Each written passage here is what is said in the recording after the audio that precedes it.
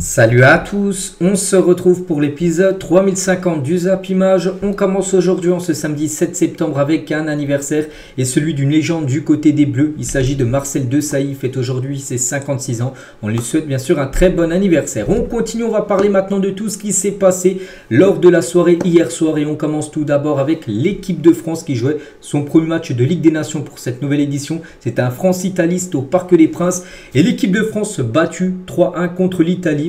Donc pourtant ça a très bien commencé pour les Bleus avec Bradley Barcola, buteur au bout de 13 secondes de jeu. On parlera juste après bien sûr de ce but express avant que l'Italie commence à jouer. Puis après ça a été le rouleau compresseur italien. On n'a plus vu le jour. Donc Di Marco, Fratesi et Raspadori ont été les trois buteurs côté italien. Donc j'ai bien évidemment regardé le match. Il n'y a rien à dire. Hein. Pour moi, l'Italie a été bien meilleure que l'équipe de France. Donc les statistiques de la partie, donc la possession, bon pratiquement pareil. Hein. 1% de plus pour les Bleus. Les tirs sont pareils, 11 tirs pour la France, 11 tirs pour l'Italie, mais l'Italie c'est 11 tirs, 6 tirs cadrés, la France c'est 11 tirs, 3 tirs cadrés, donc beaucoup plus efficace. En gros, les Italiens qui méritent totalement leur victoire. Félicitations à eux et nous du côté de l'équipe de France, c'est quand même très inquiétant malgré qu'on a quand même atteint le dernier carré de l'euro. Hein, voilà, en plus en produisant vraiment un football très moyen, là tu rentames directement avec un match euh, où tu n'as pas vu le jour. C'est compliqué actuellement la période. Hein. Du côté des Bleus, des soucis dès la rentrée. Regardez la une du journal équipe aujourd'hui, bah, ça revient par rapport à cette débâcle des Bleus. Donc la rentrée de classe. Donc euh, pourtant euh, lancé par un but de Bradley Barcola après 12 secondes, je crois c'est 12 ou 13 secondes de jeu. Donc l'équipe de France a totalement sombré et montré une grande impuissance pour son premier match depuis l'Euro. C'est vrai que on a l'impression que l'équipe de France aurait pu jouer encore 2-3 matchs d'affilée sans marquer de deuxième but. Hein. Ça, ils ont marqué très tôt. Je pense que l'équipe de France a tout simplement marqué très tôt dans, ce match. Après, ils ont arrêté de jouer. Puis après, ben, l'Italie a commencé à jouer.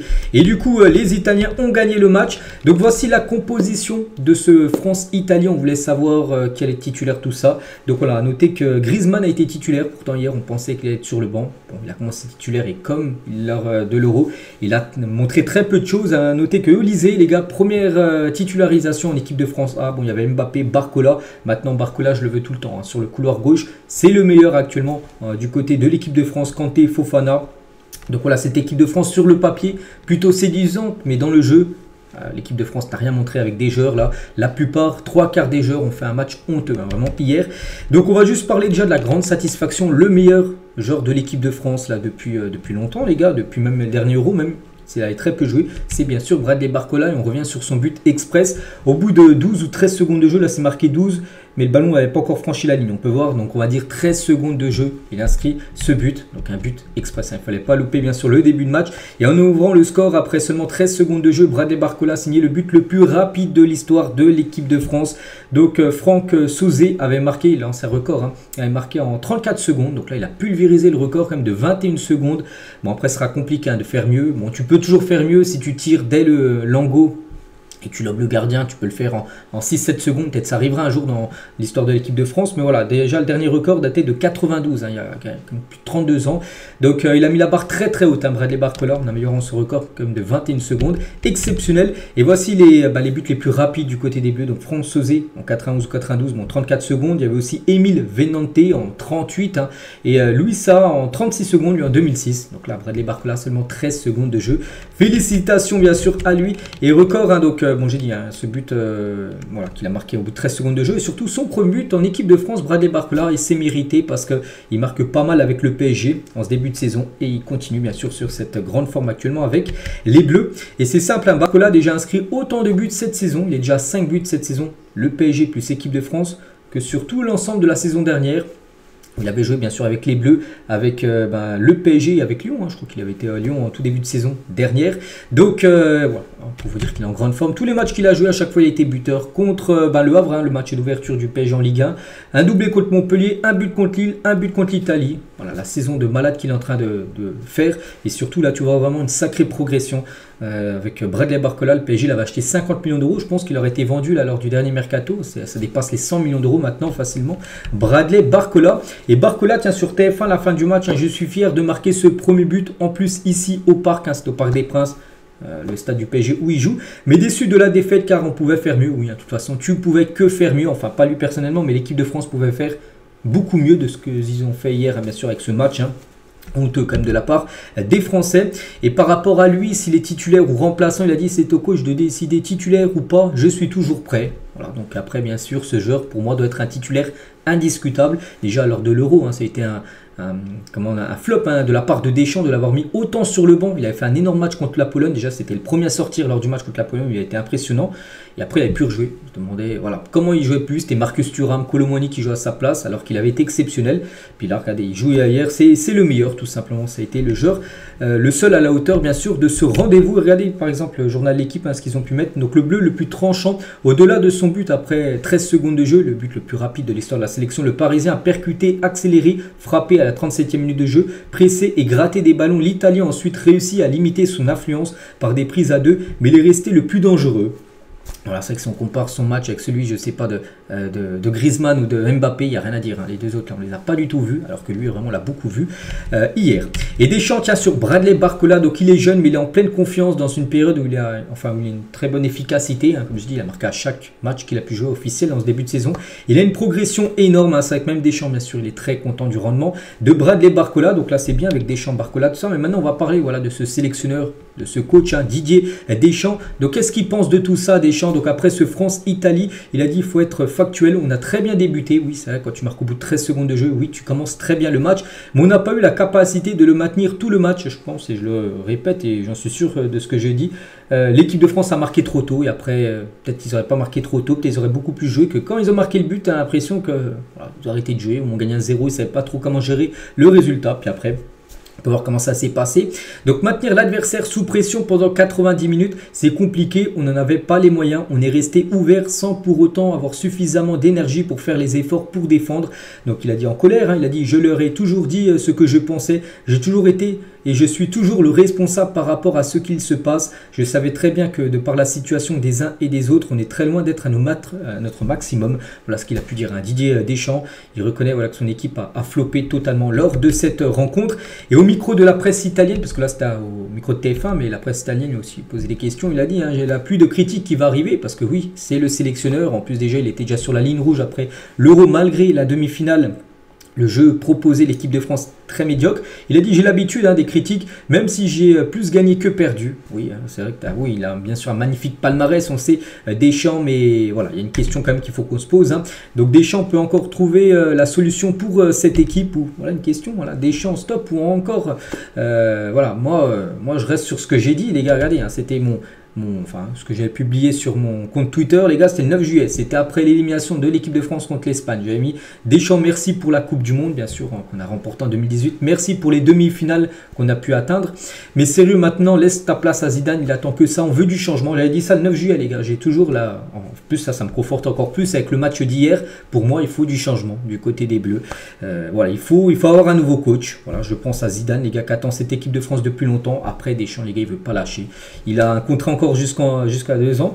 Euh, mais voilà, je sais pas, c'est encore une mauvaise performance hein, contre la Belgique. Il va falloir vraiment se poser des questions et j'espère que Philippe Diallo, le président de la FFF, bah, se disent là on va droit dans le mur avec des champs, il faut changer, il faut changer quelque chose parce que là actuellement euh, il n'y a plus rien euh, du côté de, l'équipe de France avec Deschamps, l'impression que son style est essoufflé. Et regardez pas mal de consultants comme Walid Acherchour, il a dit hein, sur Didier Deschamps, Deschamps est cramé tactiquement, Allemagne, Espagne et Italie, il a pris une leçon sans jamais avoir les réponses. Hein. Contre l'Allemagne c'était lors d'un match de, amical hein, bien sûr euh, avant l'Euro, l'Espagne c'était en demi-finale de l'Euro et l'Italie hier.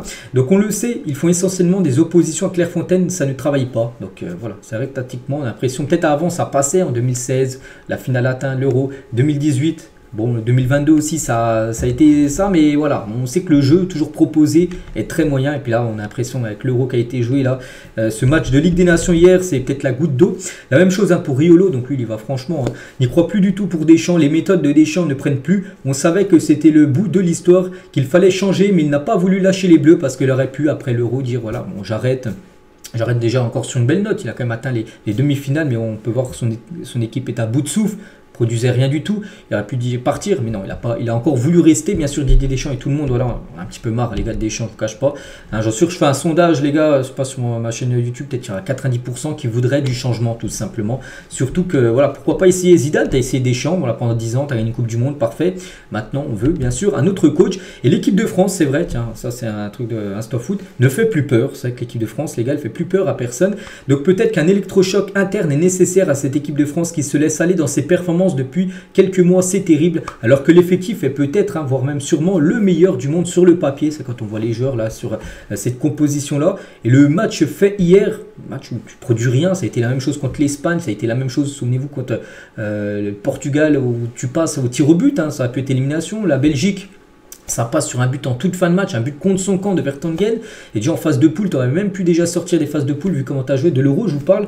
Tu proposes plus rien. Donc euh, oui, il faut quelque chose de nouveau. Il faut du renouveau tout simplement. Regardez en club quand ça va pas, ça change pourquoi pas en sélection? Oui, Deschamps, il y a peut-être une Coupe du Monde gagnée. C'est grâce à ça vraiment qu'il fait maintenir en équipe de France. Il n'aurait jamais gagné la Coupe du Monde, les gars, depuis longtemps. Deschamps ne serait plus le sélectionneur de l'équipe de France. Et c'est qu'on attend. Donc on parle beaucoup de Deschamps, tout ça. C'est que c'est pour moi le premier fautif, mais il y a aussi des joueurs, les gars, il va falloir se poser des grandes questions. Ce joueur-là, Kylian Mbappé, qui est le capitaine, hein, le brassard, euh, c'est lui le leader de l'équipe. L'euro catastrophique et le match hier, catastrophique. Hein, Kylian Mbappé, même moi les gars, euh, je pense j'aurais fait aussi bien que lui. Euh, voilà, il a, rien fait. Il a absolument rien fait Kylian Mbappé. On attend beaucoup plus de Kylian Mbappé. Il y a tellement de joueurs actuellement en France qui sont bien meilleurs que Kylian Mbappé, ce qu'il fait avec l'équipe de France. Donc Mbappé n'a plus marqué dans le jeu depuis 9 matchs en équipe de France. Il a marqué contre la Pologne. Lors de l'Euro, c'était un but sur penalty. Hein. Souvenez-vous, son seul but inscrit lors, euh, de l'Euro.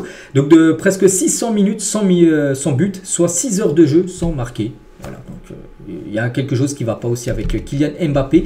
Et Riolo, tiens, c'était hier hein, sur l'afterfoot après le match, il a dit puisque tu t'en fous de ce que pensent les gens, sache que les gens pensent que tu as été mauvais hein, hier.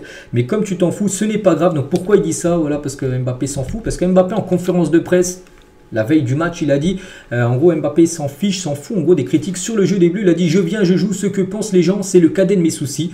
Euh, on ne peut pas contenter tout le monde. Donc c'est pour ça qu'en gros, Riolo, il dit, bah, sur Mbappé, vu que tu t'en fiches, euh, on pense nous que tu as été mauvais, mais moi, je pense qu'il a été, enfin, il a été mauvais, Mbappé.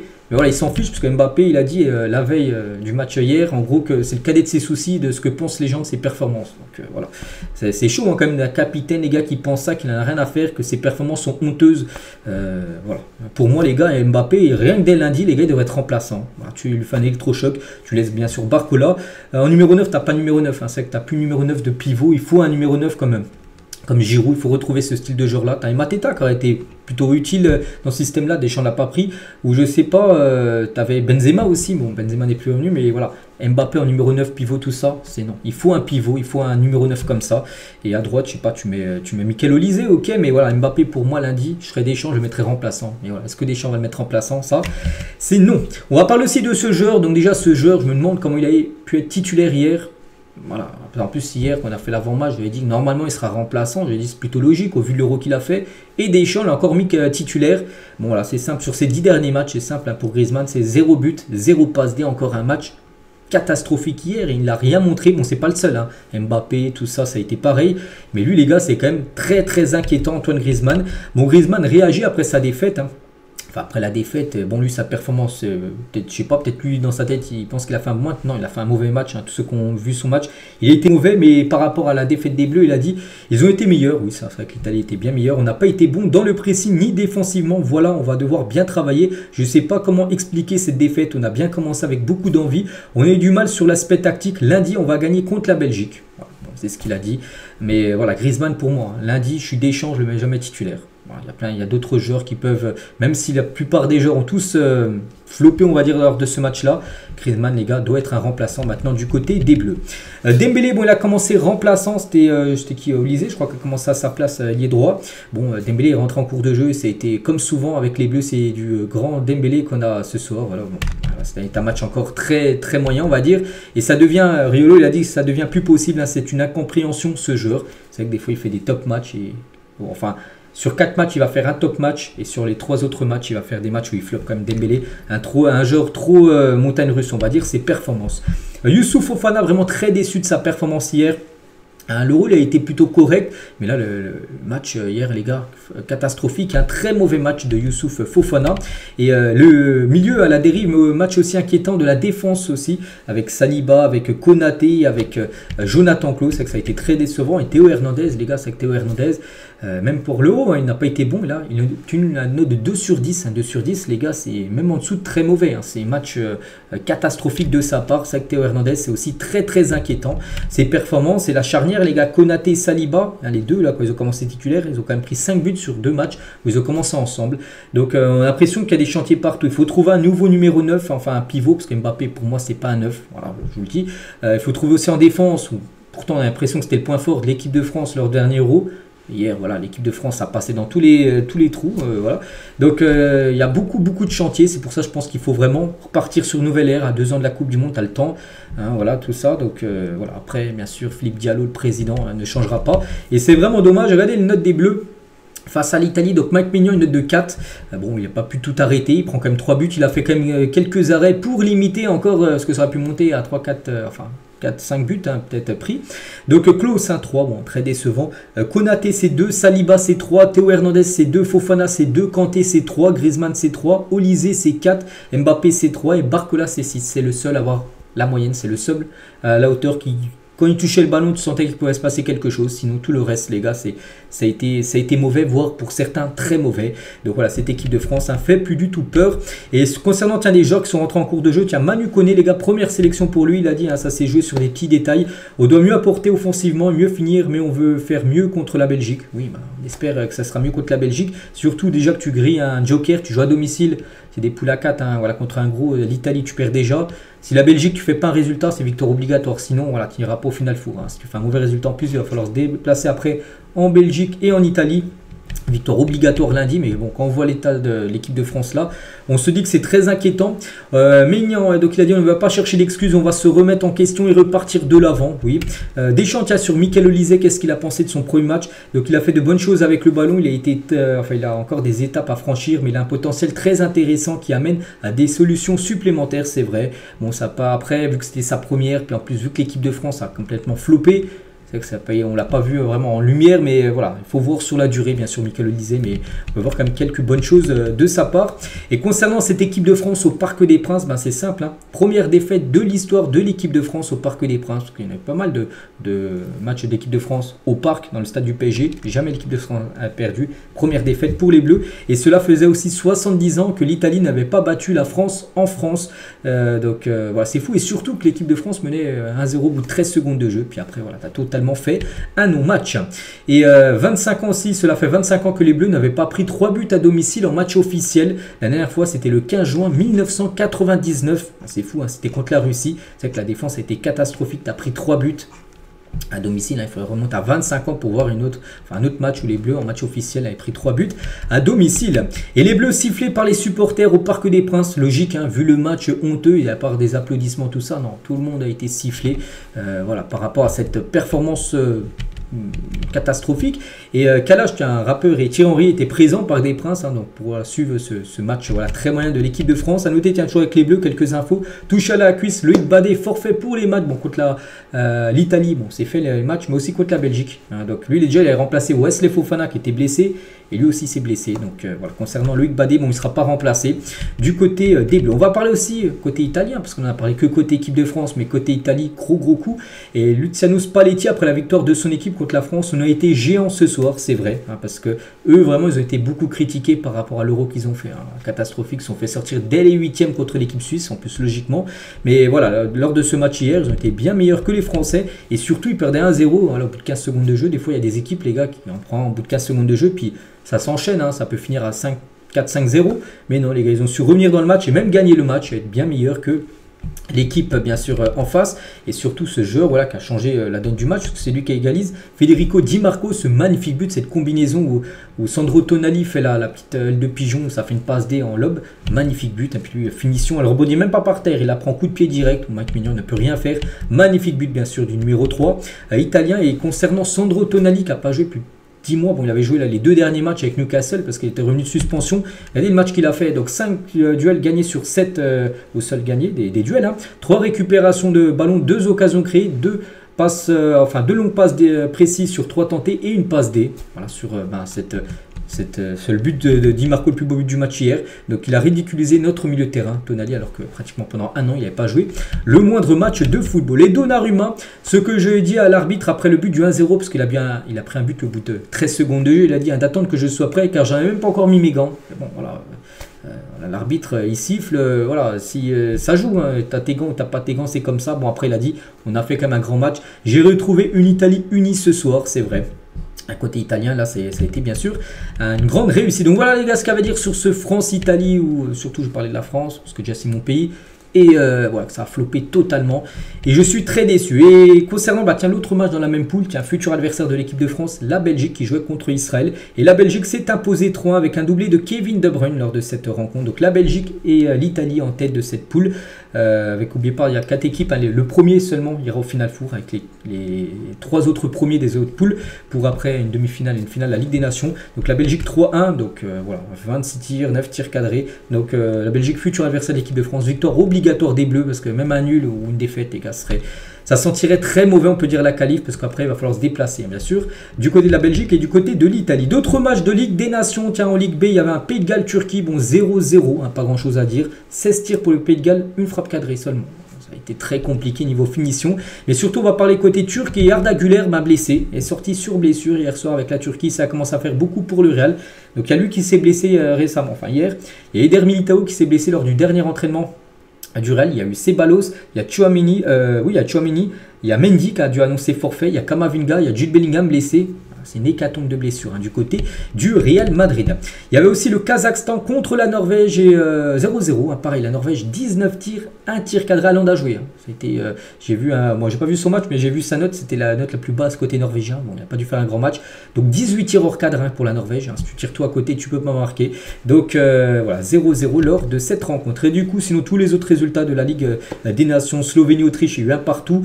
je sais pas, tiens, Chypre s'est imposé 1-0 contre la Lituanie. Voilà, tous les résultats de la soirée hier. Donc au programme aujourd'hui, quelques rencontres ce soir, l'Allemagne contre la Hongrie et Pays-Bas contre la Bosnie. Voilà, donc euh, deux belles rencontres. Il y aura aussi l'Angleterre, maintenant qu'ils sont dans la Ligue B, hein, ils avaient descendu euh, lors de la dernière édition. Donc là, ils joueront contre l'Irlande, l'Angleterre, il y aura un Grèce-Finlande, Ukraine-Albanie ou Géorgie, République euh, tchèque. Il y a aussi des matchs de Ligue C et un match en Ligue D, la Moldavie contre Malte. Hein. voilà le programme en Europe aujourd'hui. On va parler aussi rapidement des qualifications de l'Euro Esport parce que l'équipe de France Espoir jouait contre la Slovénie Espoir, score final 1 partout. Donc déjà, il perd un 0 sur revenu grâce à ce joueur, le nouveau joueur du PSG, Désiré Doué, qui a égalisé. Donc voici les statistiques. Hein. Donc l'équipe de France est 31 tirs, 13 tirs cadrés, les gars, 13 tirs cadrés, eu 12 arrêts du gardien slovène qui a fait le match, peut-être de sa vie, j'en sais rien. Mais voilà, euh, deux points perdus, parce que voilà, 13 tirs cadrés, tu dois marquer au moins 2, 3, 4, 5 buts dans le match. 1-1. Voilà, donc euh, très mauvais résultat. Et Doué, les gars, qui a été buteur, mais il est sorti sur blessure. Ça, c'est pas une bonne nouvelle hein, pour le PSG. Donc, c'est pas très important. La cheville est un peu tournée, mais ça va aller. C'est ce qu'il dit. Le Parisien est sorti avec un gros tap au niveau euh, de la cheville. Donc, euh, on espère qu'il sera rétabli pour le prochain match. Et c'est que cette équipe de France, les gars, pour se qualifier pour l'Euro l'année prochaine, l'Euro Espoir, et eh ben pour l'instant, très mal embarqué. Pourquoi? Parce que l'équipe de France, troisième, n'oubliez pas, c'est le premier qui se qualifie directement. Et le deuxième jouera un match de barrage. Le troisième, rien du tout. Et pour l'instant, la France est troisième avec 10 points. Bon, ils ont un match en retard par rapport à l'Autriche et la Slovénie devant eux, mais voilà, pour l'instant, euh, si ce serait fini, bah, la France ne serait pas l'Euro Esport, alors que cette équipe de France Esport a atteint quand même la finale des JO il y a quelques semaines. On continue, on va parler maintenant du continent sud-américain. Il y avait quelques matchs la nuit dernière. Brésil-Équateur et euh, c'est le Brésil qui s'est imposé 1-0 grâce à cet homme Rodrigo, un joueur tellement sous-coté, on peut dire pourquoi. Il n'est même pas dans le top 30 par rapport au Ballon d'Or. Et regardez, c'est lui encore qui a été le buteur décisif lors de cette euh, rencontre. Donc un match très serré. hein. L'Équateur, c'est toujours une très belle nation. Hein. Donc euh, voilà, 0 pour le Brésil. Et voilà, Rodrigo est le MOTM, donc le meilleur joueur du match. Il a reçu ce prix, hein, un gros prix là par rapport au meilleur joueur de la partie. C'est que Rodrigo, non nommé au Ballon d'Or, encore buteur. Donc il, est déjà, il a déjà plus de buts que Vini Junior en sélection brésilienne. Donc Rodrigo, c'est 6 buts avec le Brésil. Et Vini, c'est 5 buts. Euh, avec, avec 6 sélections en moins quand même pour Rodrigo que Vini. Donc euh, voilà, il joue moins, mais il marque, euh, il a déjà un but de plus que euh, son compatriote Vini qui a joué également le match entier. Hein. Les deux ont joué les matchs entiers. les deux joueurs là du Real Madrid. A noter que le jeune Estevao, 17 ans, le deuxième plus jeune joueur à faire ses débuts pour le Brésil ce siècle après Hendrik. Hendrik avait joué un match le plus jeune de l'histoire, enfin pas de l'histoire, mais depuis 2000. Et ben Estevao aussi a joué un joueur de Chelsea, les gars, il arrivera en l'été 2025 du côté de Chelsea, ce joueur qui a signé pour 35 millions d'euros. Il y avait également le Pérou contre la Colombie, tiens, Colombie qui a atteint la finale de la Copa América quelques semaines perdu contre l'Argentine. ils ont fait un, partout lors de leur premier match de reprise.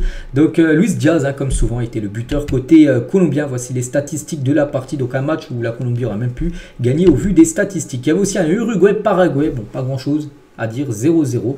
Lors de cette rencontre, hein, donc voici les statistiques. Donc l'Uruguay, 12 tirs, 1 tir cadré un peu comme l'image tout à l'heure qu'on parlait, euh, je sais pas, tiens, du Pays de Galles qui a eu beaucoup de tirs, ou même euh, la Norvège qui a eu beaucoup de tirs, mais très peu de tirs cadrés, un peu comme l'Uruguay qui ont dominé, mais qui n'ont pas marqué. À noter, les gars, que Felipe Valverde, tiens, le joueur du Real Madrid, il a pris un jaune, il sera suspendu pour le prochain match, pour lui retour à Madrid. Et concernant, euh, tiens, Luis Suarez, parce que c'était son dernier match, j'en ai parlé il y a quelques jours, c'est fini pour lui la sélection.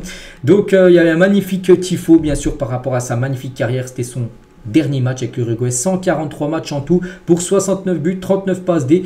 Donc euh, il finit sur un 0-0, il n'a pas été buteur, mais c'est le meilleur buteur de l'histoire de cette euh, sélection uruguayenne. Donc euh, il y avait sa famille bien sûr, voilà, qui était présente, ses enfants pour sa dernière. Donc voilà, c'est fini maintenant, il va se focus à 100% sur l'Inter Miami. Ce classement les gars, avec les 10 équipes hein, sud-américaines, avec les 6 premiers. Donc là le Brésil hein, qui était 6ème avant le match, ils ont gagné, ah, ça leur fait, enfin ils remontent un peu au classement. Bon voilà, l'Argentine euh, sera la Coupe du Monde euh, la prochaine bien sûr. Et jusqu'à l'Équateur, mais pas le 7 où c'est un peu en bleu ciel, jouera un match de barrage contre une autre sélection. Donc euh, voilà, actuellement, il reste encore un match là, enfin encore un match pour chaque équipe lors de cette trêve internationale. Et concernant l'Argentine, un peu l'Argentine où ça va très bien, c'est que l'Argentine sur les 64 derniers matchs depuis l'été 2019, et eh ben l'Argentine c'est seulement deux défaites. Ah, je ne sais même plus qui, les avait battus, je crois qu'ils avaient perdu un match contre l'Uruguay, parce que là ils ont une, défaite là, donc c'était une défaite, sais je crois qu'ils les avaient battus. Et l'autre match qu'ils avaient perdu. Bon, c'était pas la France, hein, parce que là on parle depuis l'été 2019, euh, mais voilà, c'est quand même une équipe, une grosse cylindrée bien sûr, l'Argentine.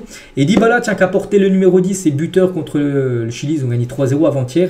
Et parce que Messi a pris le 10, parce que Messi n'est pas présent là, vu qu'il est blessé, il a dit hein, Je sais que ce n'est pas mon maillot, nous savons tous qu'il appartient à Léo, ce numéro 10.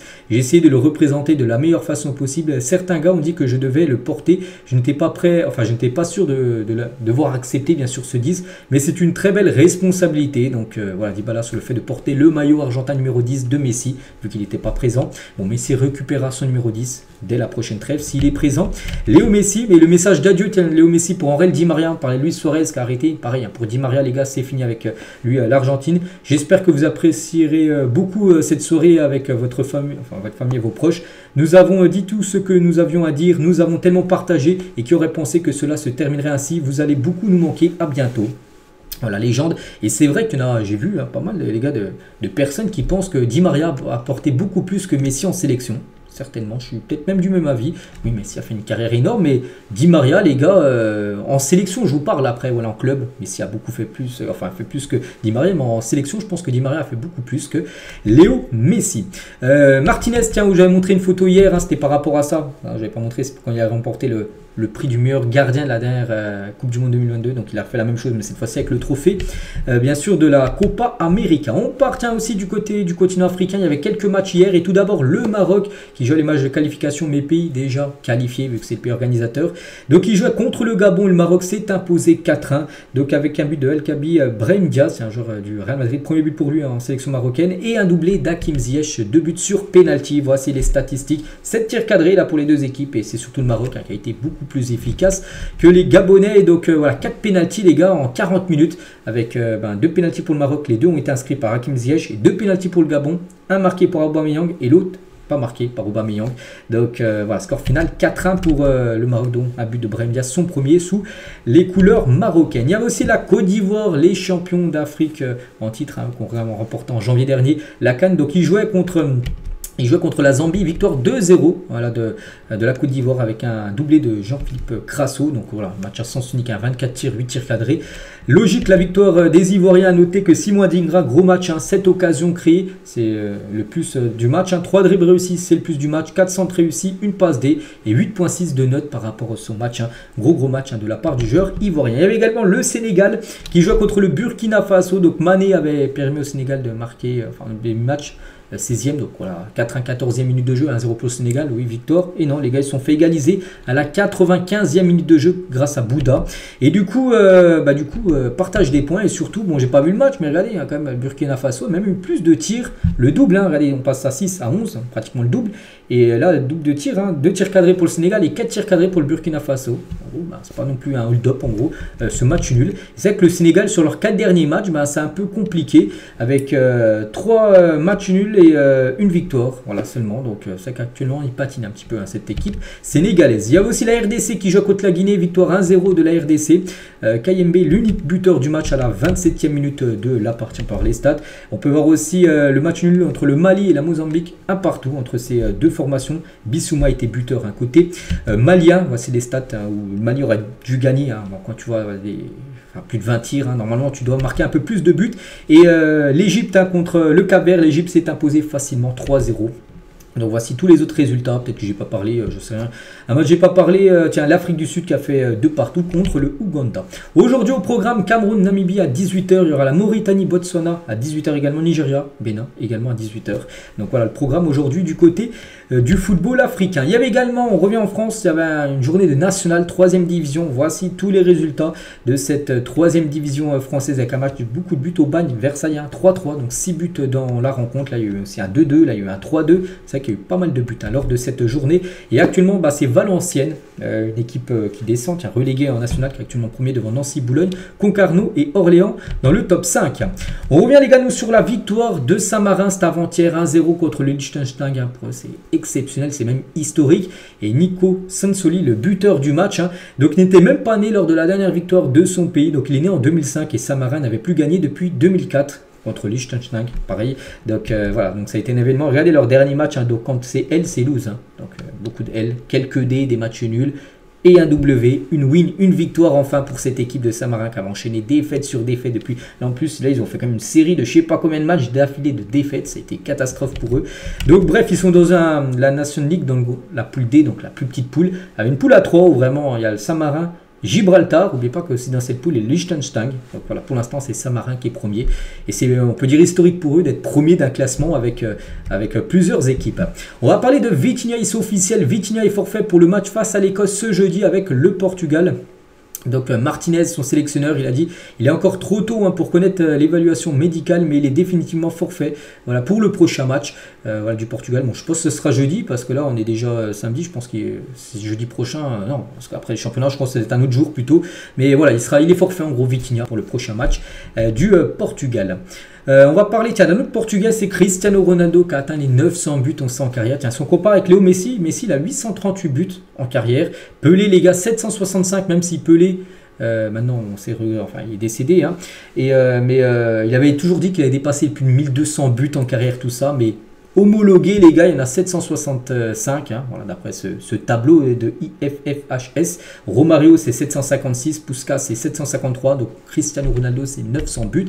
Et euh, Martinez, tiens, le, coach du Portugal, rend un bel hommage à CR7 à l'occasion de ses 900 buts en carrière. Donc si CR7 a marqué 900 buts, c'est grâce à son dévouement à la sélection et au travail qu'il accomplit à l'entraînement et que personne ne voit. Être discipliné, travailler dur, ce qui permet de marquer 900 buts, c'est fantastique pour l'histoire du football portugais, pour CR7 et pour euh, le football mondial, mais aussi un excellent exemple pour le vestiaire car le dévouement de Cristiano à la sélection est incroyable.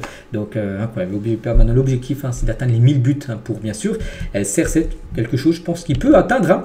et vraiment pour montrer vraiment que c'est fou ce qu'il a réalisé Ronaldo. Donc si votre carrière de footballeur durait 15 euh, ans, par exemple tu commences à 20 ans et tu prends ta retraite à 35 ans, on va dire tu joues au football pendant 15 ans, et que tu marquais quand même 50 buts par saison, ah, c'est quand même énorme, 50 hein, buts par saison, c'est que tu fais vraiment des grosses années, et ben vous prendrez votre retraite avec 750 buts, alors que Ronaldo il est déjà à 900 buts. Voilà, donc pour vous montrer quand même que c'est fou. Hein.